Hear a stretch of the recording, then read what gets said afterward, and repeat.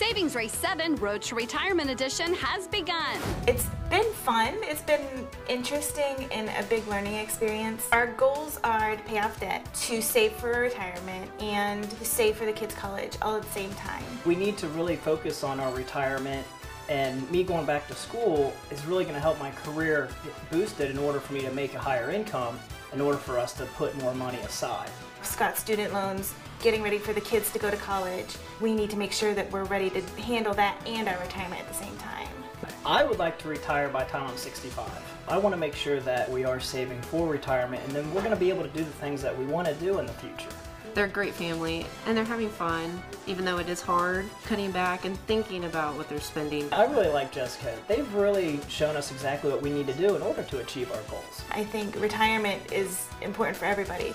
Follow the teams at savingsrace.com to start your plan today for tomorrow's dreams.